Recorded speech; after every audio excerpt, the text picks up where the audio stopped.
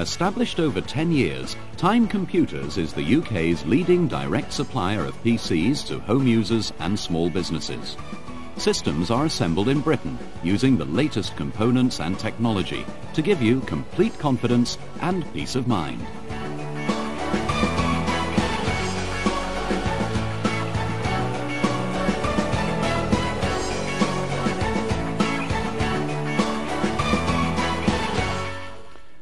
And welcome, and thank you for buying your PC from Time Computer Systems. Time's aim is for you to get the best possible benefit and enjoyment from owning a PC. So in this video, we'll show you everything you need to know about your new computer. The program lasts for about an hour, and it's divided up into sections. If you're a beginner, we suggest that you watch the whole video before you start using your PC. If you're a more experienced user, you may not need to watch all the sections, but you may well find some of them useful to familiarize yourself with features that you may not have seen before. With the help of the menu system, you should quickly be able to find the sections you want. We'll show you what to do when your PC arrives and how to connect all the pieces of hardware together. Then we'll take you through the procedures when you use your PC for the first time. We'll show you how to install software and install printers and other add-on pieces of equipment. And finally, we'll tell you how to contact the customer support center if you have any real problems.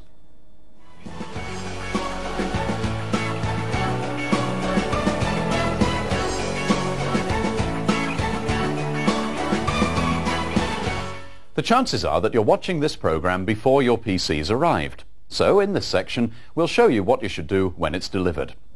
When you ordered your computer, you were quoted a delivery date. Now this is normally 10 to 14 working days after your payment has cleared. In that time, your PC will be built and will have its software preloaded and be thoroughly tested for many hours. Your computer will be delivered by reputable courier. If you're out when the courier calls, he'll leave a note so that you can phone to arrange a suitable time for him to return. Now the whole system will come in a number of boxes, usually three or four, depending on what you've ordered. When it arrives, check the number of boxes against the courier's consignment note. Make sure too that there's no external damage to any of the boxes. If you have any problems, contact the customer care centre and we'll show you how to do that later on. First of all, take the boxes into the room where you'll be using your PC. As you unpack the boxes, check that you have all the bits and pieces. Now this will depend on the system that you ordered, but in general, in the main system box you should have the system unit, the keyboard, a power cable and a mouse. There'll also be a binder containing documentation and software that relates to your system. The monitor box will contain the monitor and its stand and a power cable and a user manual. Finally, any additional hardware and software such as speakers, a joystick and CDs will be in the accessories box. The invoice will normally be in this box as well. Also included is your Windows 98 CD. Your PC comes with Windows preloaded and ready to use, so this CD is just for backup purposes. If some things appear to be missing, check all the boxes and check the invoice. Some items may be marked to follow. Now this means that they were out of stock when your PC was shipped and they'll be sent on to you shortly. You will, however, have all the necessary equipment to get you started. If the missing items aren't marked to follow, contact the customer care centre, as we'll show you later in the video. After you've unpacked all the hardware, do keep the boxes and packing materials safe, because you can then use them again if you need to move the PC or return it for an upgrade or a repair.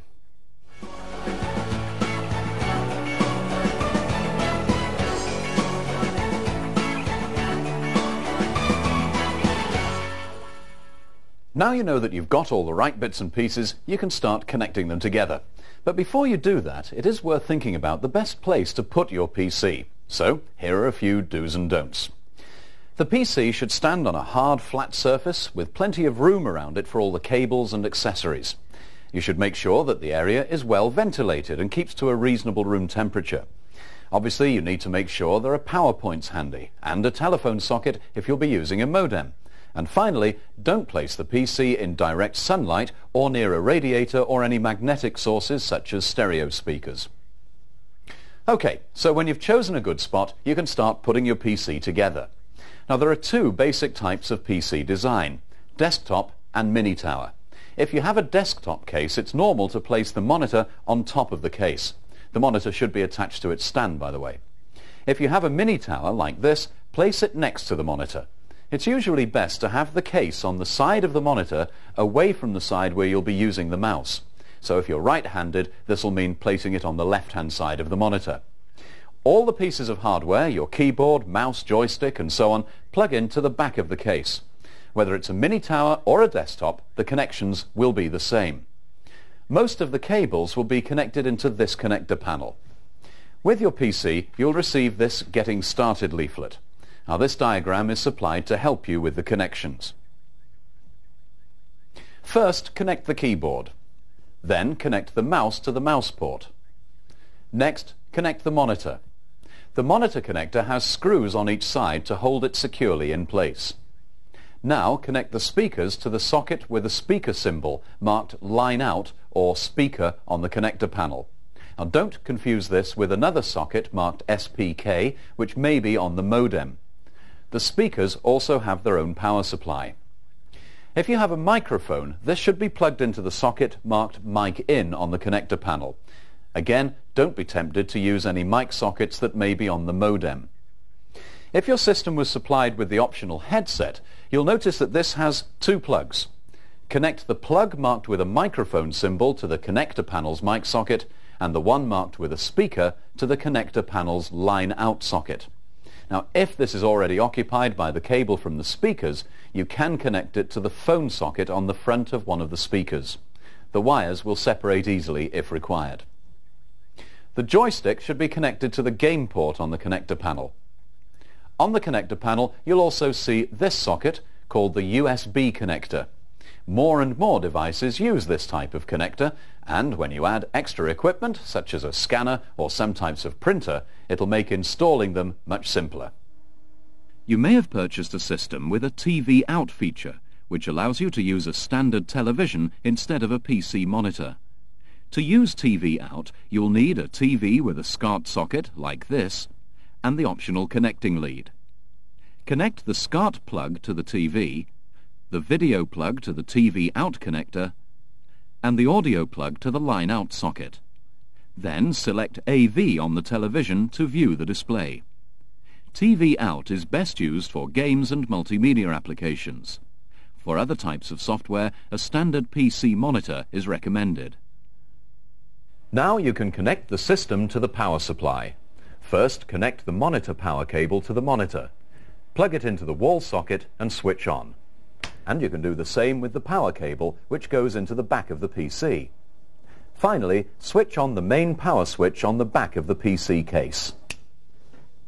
Now do check that all the connections are secure. You must never connect or disconnect any part of the system while it's switched on because that could damage it.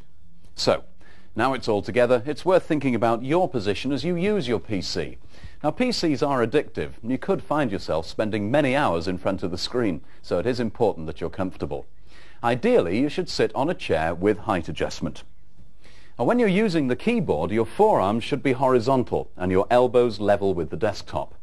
The monitor should be at arm's length from you and your eyes should be level with the top of the monitor casing. Position the monitor so that you avoid reflections from windows or lighting. And finally, place the keyboard a few inches from the edge of the desk so that you can rest your hands when you're not using it. Okay, now before you actually switch on, let's take a closer look at the hardware and see what each component does. Now is probably a good time to explain the difference between hardware and software. Hardware refers to all the physical parts of the system, the keyboard, the mouse, the case and the individual components that are inside it, such as the hard disk, the CD-ROM drive and so on. Software, on the other hand, refers to the programs which run on the computer. There are two main types of software, operating system software and application software. Operating system software is the software that controls the computer. Most PCs these days use an operating system called Windows. Application software are the individual programs that you'll use to do work. You use an accounting application, for example, to manage your finances. Now, we'll talk about software more later on. But first, let's get back to the hardware and look at the PC case.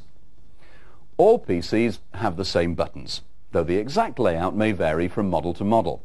Now this button is the main on-off switch that you'll use day by day.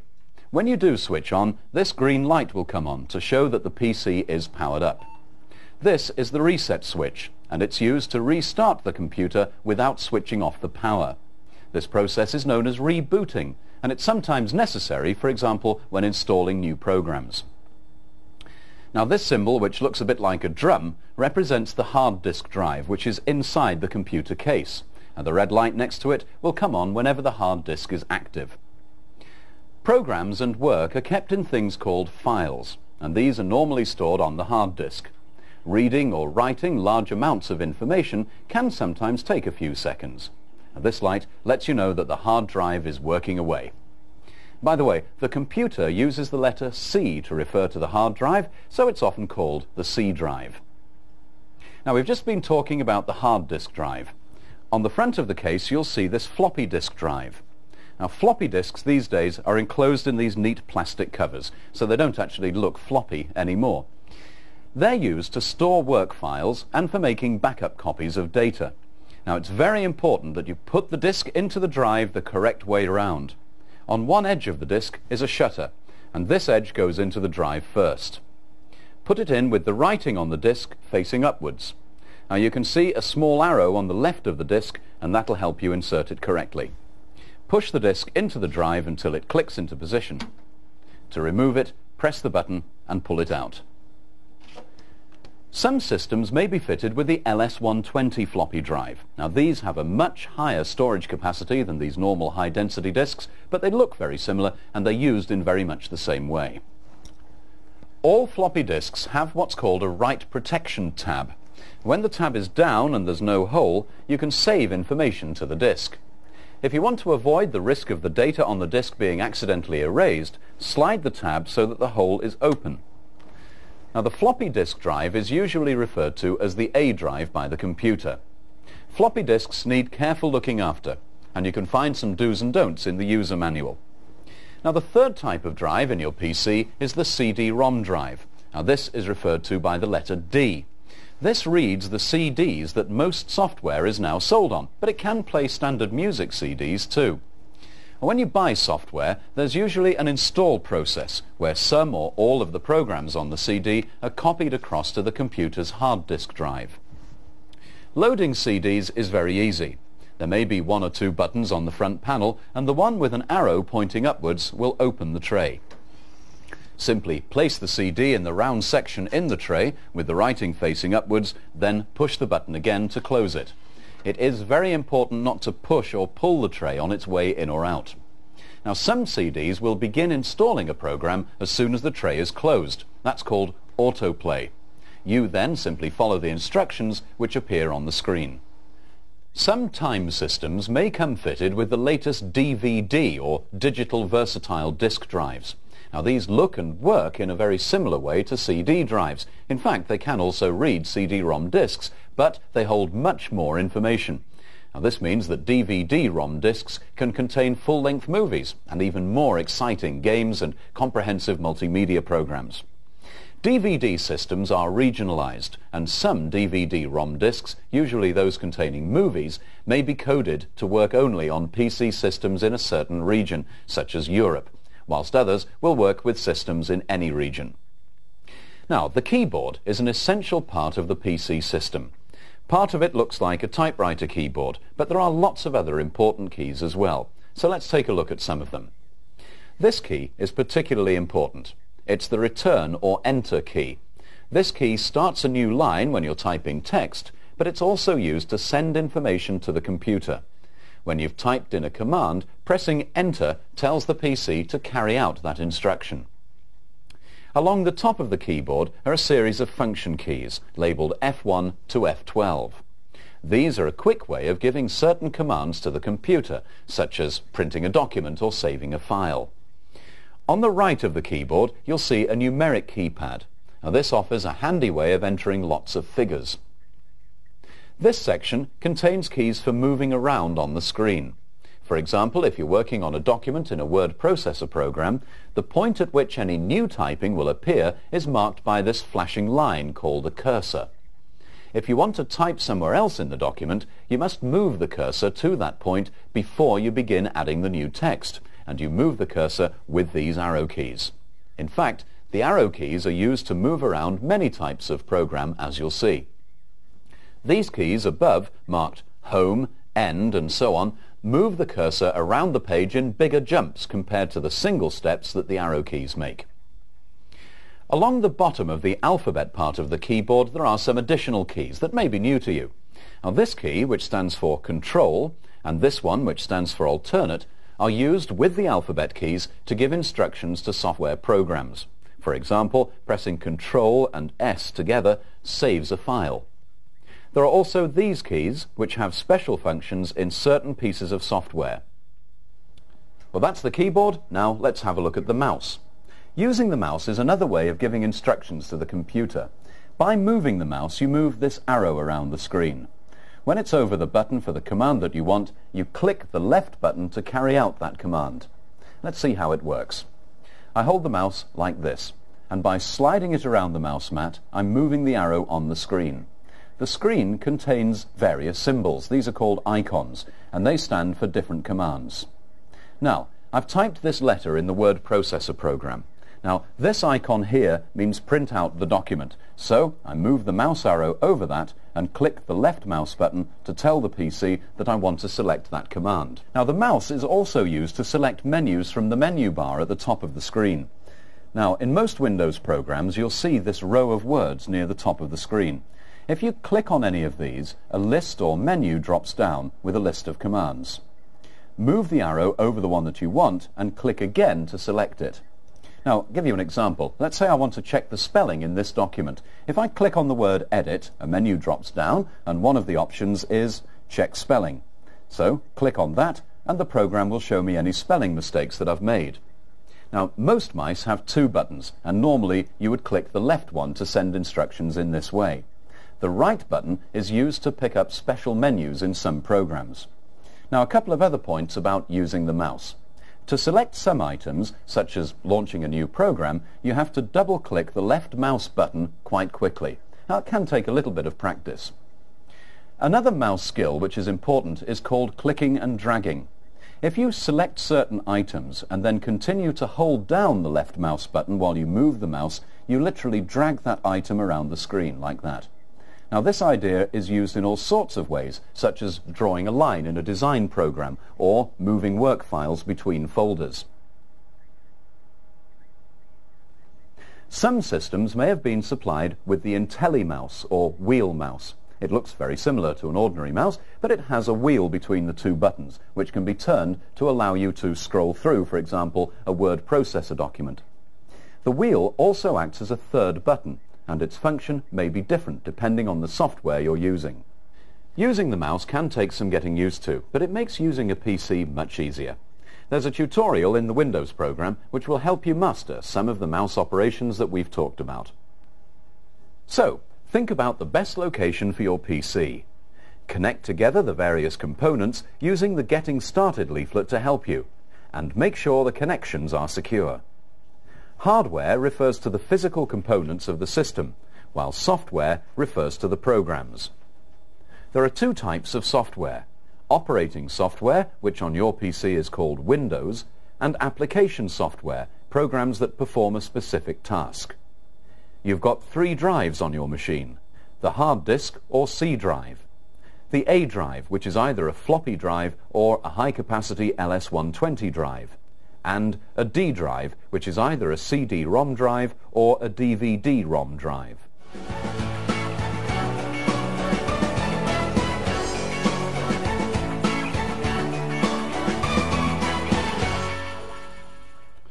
Well, now we're ready to switch on the PC. But before you do, it's wise to switch on any other peripherals, that's extra add-on equipment like printers, first. Oh, and don't forget to switch the monitor on. Now we'll switch on the PC itself. The computer will immediately spring into life.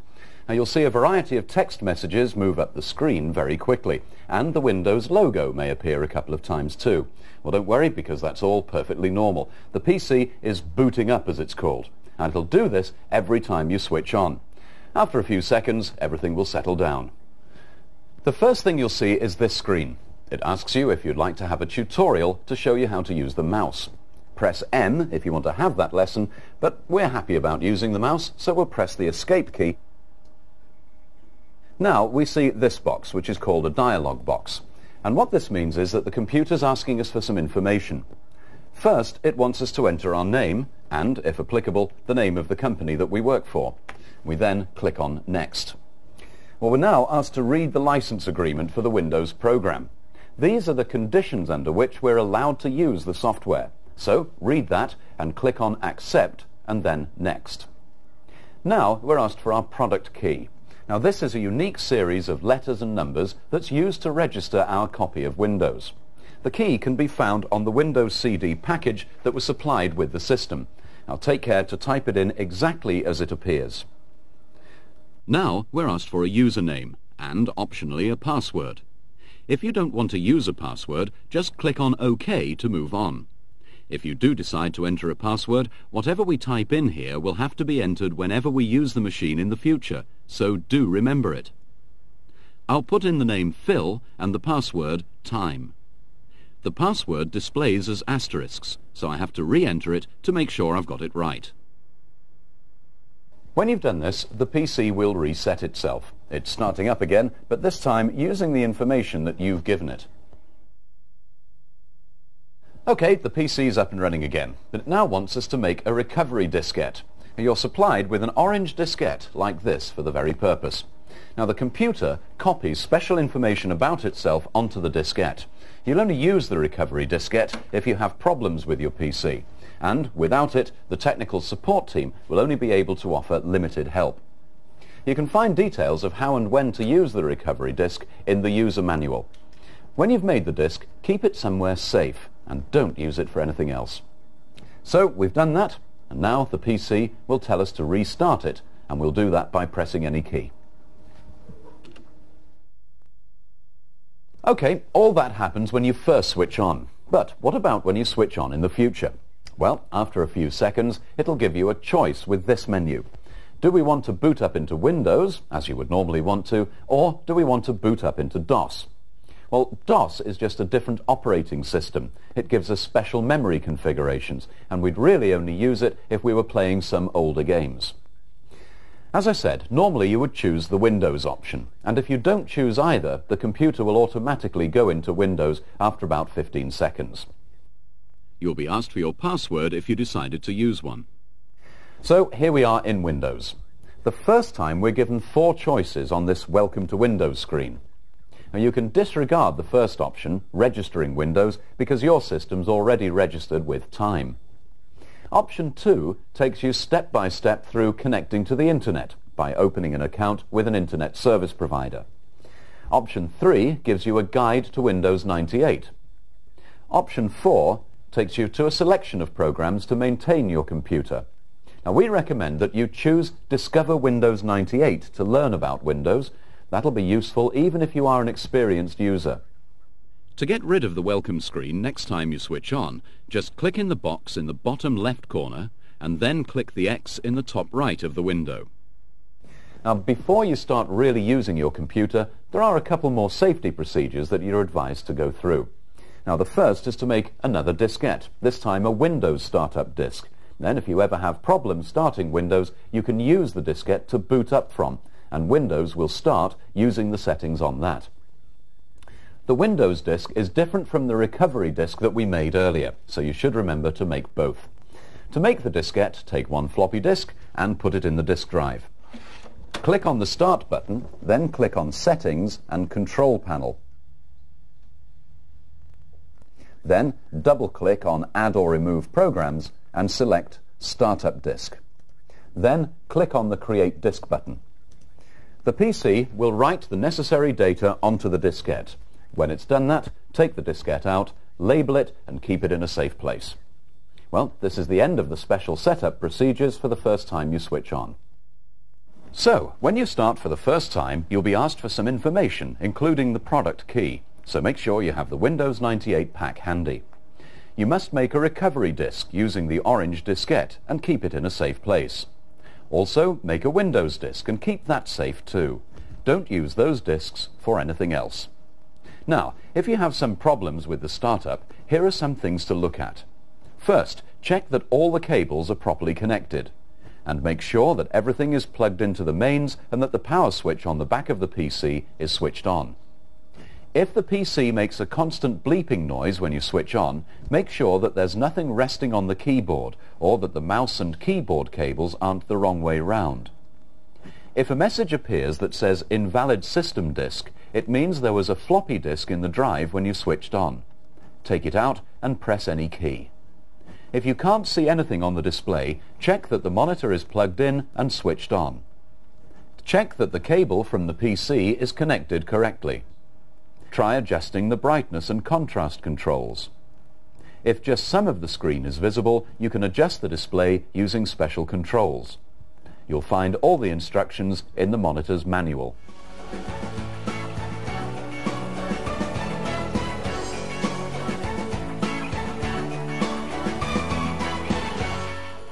When your PC has booted up and the Windows program has started, you'll end up with a screen like this. There's a green or blue background with some small icons down the left-hand side. Now this whole area of the screen is called the desktop. It's where you'll do your work. These icons represent programs or folders containing groups of programs. And if you double-click on them, you launch those programs. But there are a couple of special ones to look at. If we double-click on My Computer, we get this. Now these icons represent all the parts of our computer. Now remember that the hard disk drive is called C, so if we double click on the C drive, we'll see these rows of folders. Folders are just that. If you imagine your hard disk drive as a big filing cabinet, then these folders group individual files together. Now you can see here a folder called My Documents. If we double click on that, we'll see all the documents that have been created. Now this is the recycle bin. When you want to erase or delete a file, you can simply drag that file over the bin and it'll be deleted. If you double click on the recycle bin, you can see what you've put in there. And if you decide you actually need it again, you simply drag it back. To get rid of files for good, you have to empty the recycle bin, but we'll show you how to do that later in the program. Well, that's the desktop. There's also this bar along the bottom. It's called the taskbar. Now you can see here on the right there's a clock. As we move across there are these four buttons. Now these are called quick launch buttons. You click these once to launch certain programs. This one for example launches a program called Outlook Express which you use to send email. And finally here on the left is the button that's called Start. Now this really is your starting point for opening programs so that you can do your work. So let's move the mouse pointer over that Start button and click, and this menu pops up. As you can see, there are a number of options. Now, let's say we want to draw a picture. First of all, we need to start the Paint program, because that's the software that we'll use to draw the picture. So, we take the mouse arrow onto the word Programs on the menu. Now you'll notice that some of the items have a black arrow beside them. Now that means that there's a sub-menu underneath them. When the arrow is over the word Programs, the submenu pops up. Now here you can see several icons and these represent programs. Some of the programs are grouped together. We can tell this because this icon denotes a group. And beside the name of the group, there's another small arrow, which of course means there's a submenu. So we'll select the Accessories group. Put the mouse arrow over the program group and the submenu appears, showing the individual programs. Then, if we click on Paint, it'll launch the Paint program. Now as you can see, the Paint program appears on the desktop already with a blank window for you to start drawing your picture. Now you've probably noticed that programs appear in boxes on the desktop. Now those are called windows, and that's what the Windows program is all about. Now by putting your mouse pointer over the colored bar at the top of the window, holding down the left mouse button and then moving the mouse, you can drag the window around the desktop. Now if you place the pointer over the corner of the window, like this, it changes to this double-headed arrow. Now again, hold down the left mouse button and move the mouse and the size of the window changes. Now if you look in the top right corner of the window, you can see these symbols. The cross on the right closes the program. This one is called the maximize button. That makes the window fill the desktop. Now when that happens, it changes to these two windows. And when you press that one, it goes back to its original size. Now this one is the minimize button. If you click on that, the window disappears. But what you do get is a button on the taskbar at the bottom that represents that program. So if we click on that, the program comes back. Now then, why is that so important? It becomes really useful when you're using more than one program because with Windows you can run several programs at the same time. That's called multitasking. So we've got the Paint program running. Let's open another program and we'll do that in exactly the same way. From the Start menu we can choose Programs, Lotus Smart Suite and from this group of programs we'll choose WordPro which is a word processor. Now I'll open WordPro with a blank document ready for us to work on. There it is. Now I can resize the windows so that I can see both the Paint program and WordPro. And WordPro at the moment appears in front of Paint. Now the bar at the top of WordPro is colored. That means that it's the active program. If I want to work in the Paint program, I just click in a bit of the Paint window that's showing and it jumps to the front and becomes the active program. Now by resizing the windows, I can actually see both of them at the same time. Now you'll notice that we now have two buttons on the taskbar, one for Paint and one for WordPro. Now by clicking on each of these, I can also select the one that I want. Now, everything that we've said about the windows that programs appear in also applies to the windows that work appears in within programs. So here I've got two documents open in WordPro and I can move between them in the same way. You'll notice on the Start menu there's the word Help. And one of the great things about PCs is that you're never very far away from help when you need it. If you click on help, you'll see a dialog box which lets you select help topics under chapters or an index, or you can even type in the word that you want help about, and it'll come up with detailed explanations telling you what you need to do. Selecting help from this menu gives you help on working Windows software.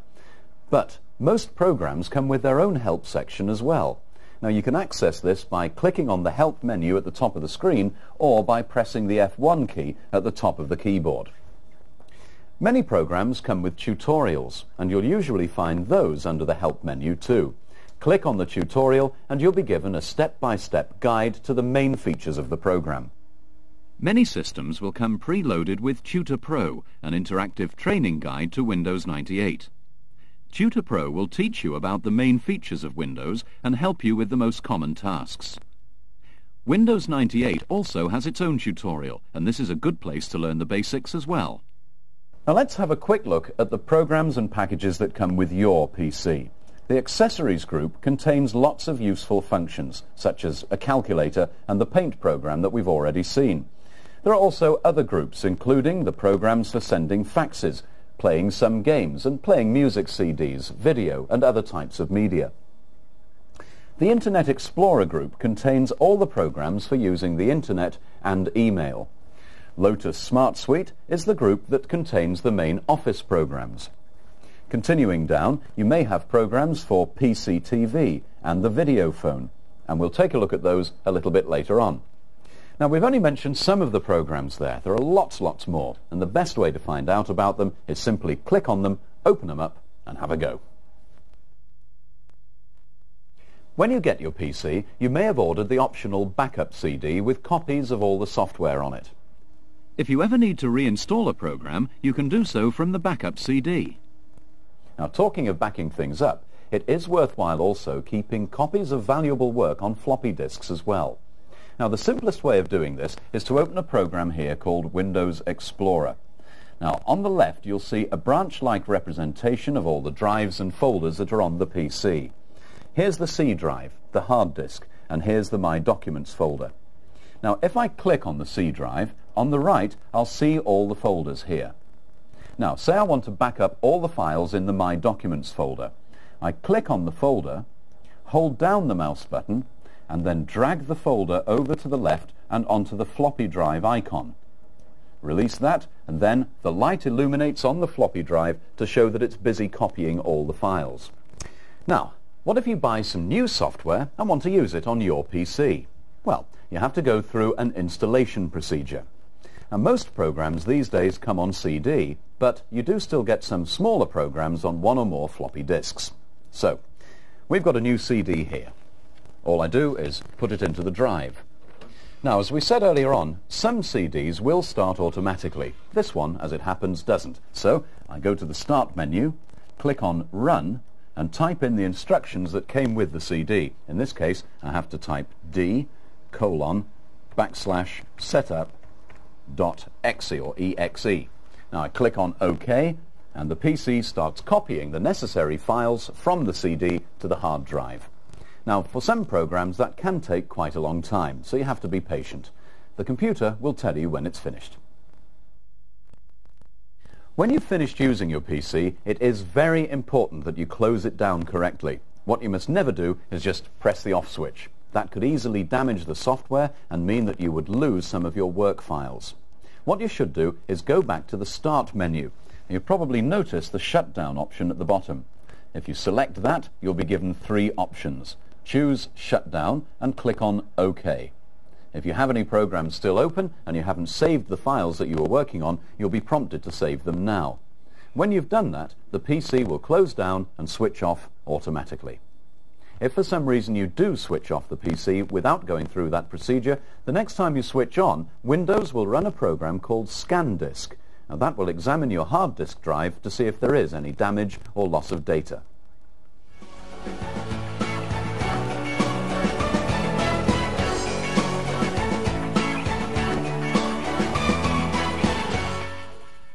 In this section, we're going to take a look at using other pieces of hardware which are connected to your PC.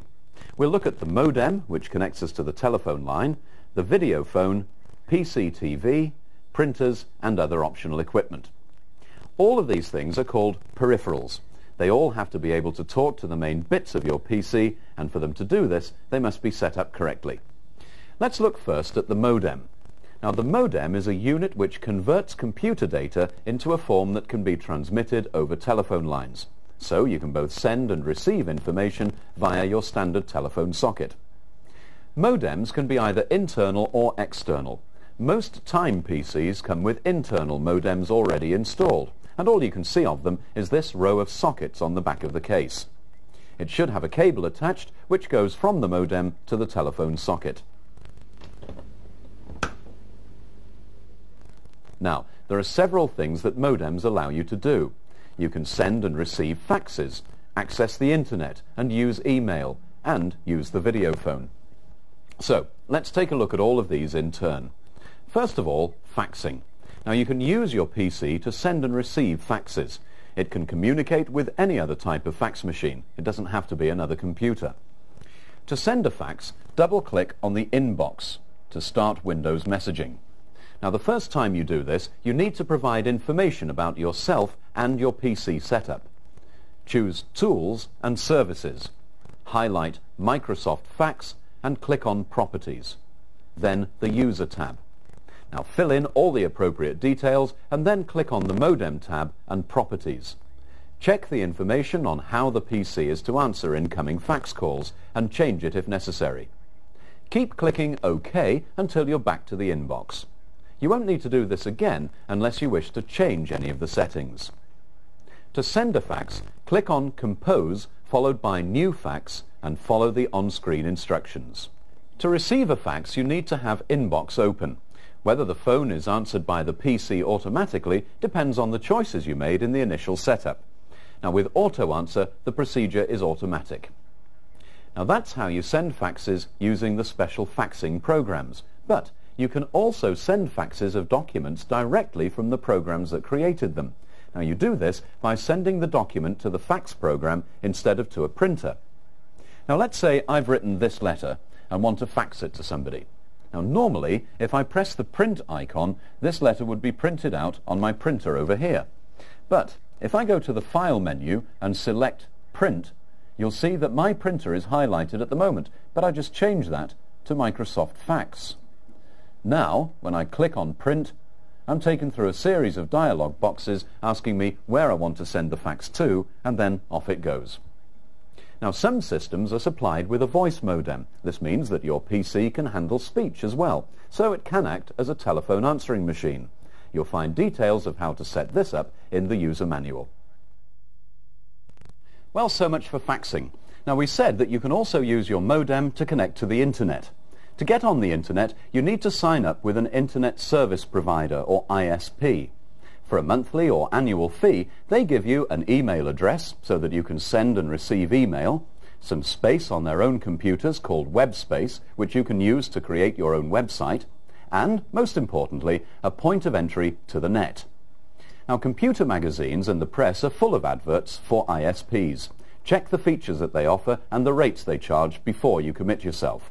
Most ISPs will provide you with software so that you can use all of the features of cyberspace. Now you need three main pieces of software. First, a web browser. This allows you to access websites, the millions of interlinked pages that compose the graphical and multimedia content of the Internet. Sites range from those of multinational corporations to the home pages of individuals. Some sites will have special areas where you can download files. Second, you need email software. Now this is similar to a word processing application and allows you to create and send emails to all corners of the world. Your ISP will assign you a unique email address and emails sent to this will be stored on the ISP's computer until you make the connection and download it to your own PC. Thirdly, you need a newsgroup reader. Newsgroups are online discussion forums which use email to exchange news and views. Over 30,000 groups are in existence on every topic of interest imaginable. Windows comes preloaded with these applications ready to use, or your own ISP may supply you with alternatives. The Online Services folder on your desktop contains offers from various ISPs so that you can sign up and get online straight away. Double-click on the icon of the ISP that interests you and follow the instructions that appear on screen. Have your credit card details ready some ISPs will give you a free trial period, but not all of them. Now once you've connected to the net, use your browser to navigate the web by typing in the URL of the website that you're interested in. URL stands for Uniform Resource Locator. It's the unique name by which a site can be identified.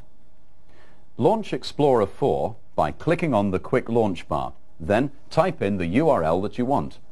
Most URLs start with HTTP colon forward slash forward slash www dot followed by the site name. Hyperlinks on a page are used to move you to another page or even another site by a single click of the mouse. The mouse pointer changes to a hand when it touches a hyperlink and the link itself changes color if you've already visited it.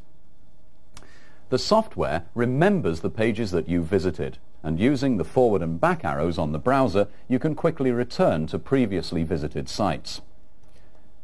You can save your favorite URLs as bookmarks so that you don't need to remember their names the next time you want to visit.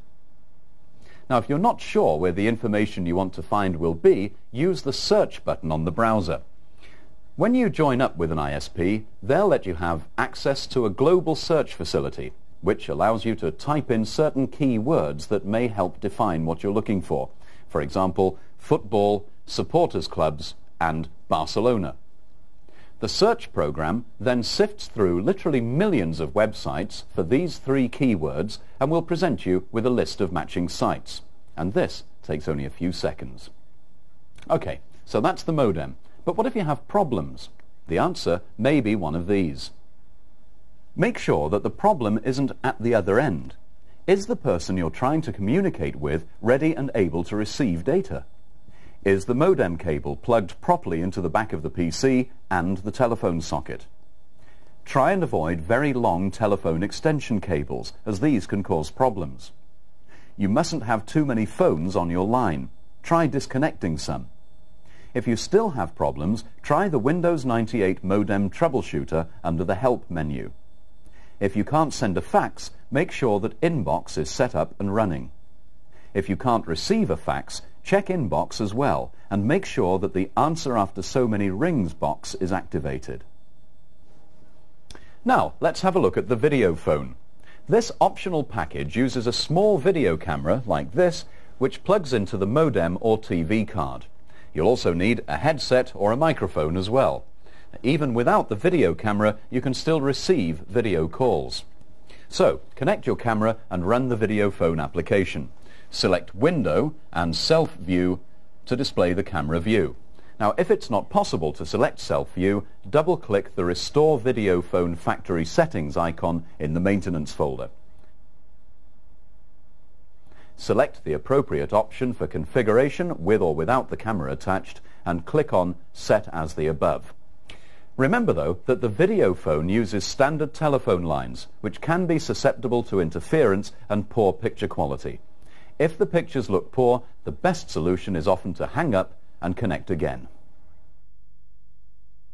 The PCTV system, if it's fitted, is completely separate from the video phone. It lets you watch television and view teletext from your desktop. You can also capture images from television or a video recorder. PCTV works via a card in the PC. You can see the back of it here. It has a standard RF socket which is used to plug in a TV aerial or a video cassette recorder.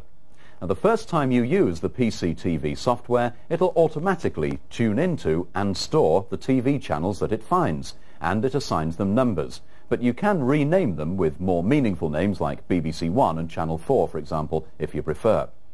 Now once tuned in, you can move between channels by using the channel buttons on the TV software menu bar or by using the function keys on the keyboard. The quality of the picture will depend on the standard of television reception in your area. And remember, you will need a TV license if you don't already have one. Now this is a digital camera. It takes still pictures and stores them in computer memory rather than on film like a normal camera. Now with a digital camera like this, you'll get a cable and some software. Now this will let you download the pictures from the camera to your PC so that you can email them or print them out. The cable for the camera plugs into the USB port or failing that the COM port on the back of the PC. If you have one of the optional interactive toys for the PC like Barney here, then plug in the batteries, connect the transmitter unit to the PC's joystick port and run the software on the supplied CD to control the toy. Now the cable is split so that you can still plug in a joystick as well. Another optional peripheral is this scanner, which comes complete with its own cable which you use to connect it to the printer port. To connect the printer as well, plug the cable from the printer into the back of the scanner like this. Finally, in this part of the program, we'll look at printers. Now the printer's job is quite simple. It produces a paper output of any work you've created on the PC, be it a letter, a chart or a picture. Now you need to connect it to the parallel port on your PC. That's this one here. All printers should be supplied with their own software and instructions, which you should follow to get them connected and installed. Here we're going to install the Epson printer, which comes with a CD containing all the necessary software. Insert the CD in the drive and the disk will autoplay, presenting you with a menu from which you choose Install. Select the printer model from the list displayed and click on OK. Now this printer comes with its own online help and you should install this on your computer by clicking on Next, then on the Install to Hard Disk button, then Next again to complete the installation. If you have problems printing, check the obvious. Is the printer plugged in and switched on? Is the printer cable connected correctly? Is the printer online?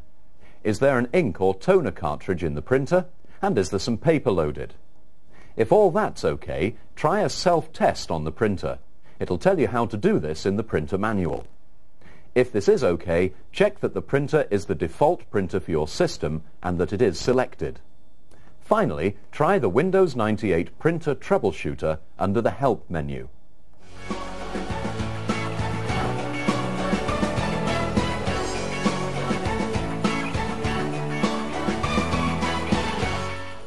To keep your PC running at its optimum performance, it is a good idea to perform some routine maintenance. Hey, but don't worry, we're not asking you to get your screwdriver out. As you use your PC, you're constantly storing files on your hard drive, reading them, deleting them, and then adding more files, and so on. So over time, the hard disk drive can become fragmented with information not stored in the best way for reading and writing it quickly. So, there are a number of programs which check and tidy up your hard disk to keep it working efficiently. You should run these every month or so to keep your PC at its best.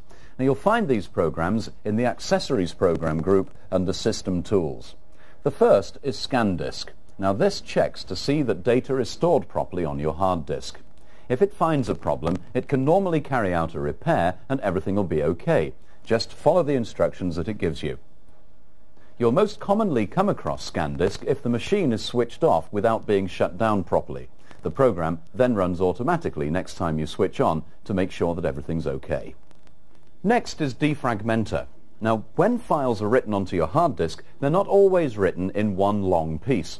The PC likes to fill up gaps on the hard drive, so files may be split up into smaller units called sectors.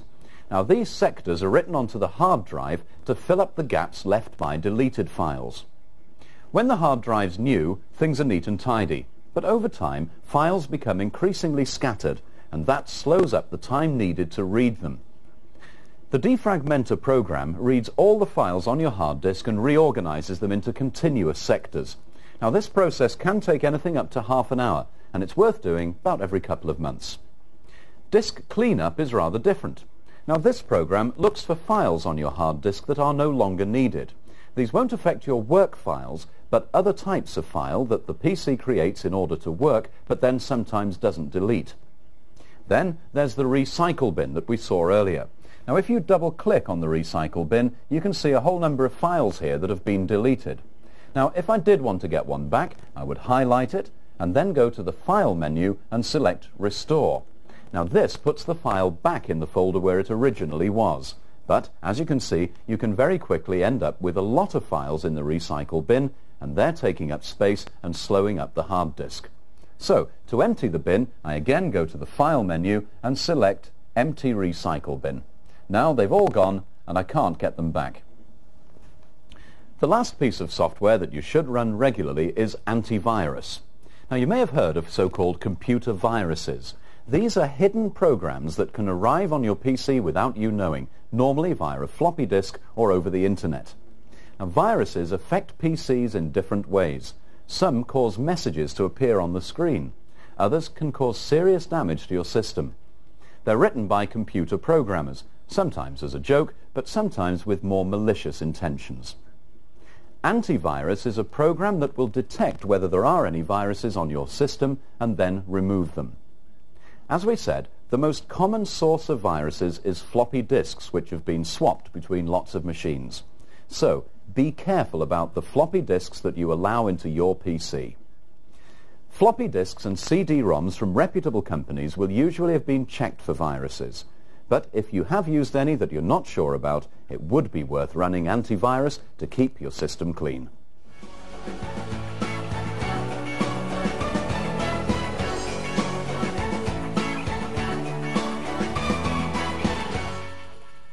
In this program, we've given you the help you need to get started with your PC. It may help you to watch parts of the program again in the future to refresh your memory, and don't forget the user guide manual, which gives more detailed information about the topics that we've covered. If you have more serious problems, Time is here to help. There are a number of ways of getting in touch depending on the nature of the problem and whether you bought your machine mail order or through one of our stores. Anyone can call the telephone support numbers, but if you bought your machine from a Time store, you can also contact the service technicians there. If you have a problem in the first 30 days after you've received your PC, there's a special helpline number. The telephone numbers for all the helplines are listed in the user manual. And you'll need to have your invoice handy and you'll be asked to enter the first four digits of the invoice number when you make the call. The first 30 days support line is for hardware and software inquiries related to the setting up of your system. Please don't call with delivery issues or general queries about using software. You can find answers to those questions from the online help screens or the user manuals. When you call the helpline, it's useful if you can be near your PC and have it switched on. The operators may ask you to carry out some procedures while they talk to you. Or they may ask you to try something and then call back when you've done so. After your first 30 days, or for delivery and invoice queries, there are other numbers to call, again depending on the problem. There's one number for technical hardware support and another for non-technical support, including delivery inquiries. If you have problems with operating software, there's another number to call. Now this is a chargeable service using a premium rate telephone number. Again, it makes sense to be in front of your PC when you make the call. If the support staff advise you to return the system to the head office service centre, you'll be given an authorization number called an RMA number. When your PC was delivered, you will have received a computer system return form and a number of important notice labels like these. Now fill these in and remember to put on the RMA number. Without that, the machine will not be accepted. Pack the machine up in the original boxes and put one of the labels onto each box. Depending on the nature of the problem, you may not need to return the whole system, perhaps only the main unit. The support staff will let you know. It's also important to back up any of your work files onto floppy disks and keep them. Depending on the type of work being carried out, data may be erased from your hard disk. The system should be returned to head office by courier. Who pays for this depends on the reason for the return. The various types of return are listed in the user manual along with other details. Well, that's it. We hope that we've helped you get started with your PC. Remember, if you have any problems, there is the online help on the PC itself. The user manual and manuals for individual pieces of software offer a lot of very helpful information. And if you're really stuck, then there are the helplines, which can offer personal help over the phone. We want you to get the most out of your new PC. By taking time to get to know your machine a little better, you should have many years' enjoyment. Goodbye. Thank you.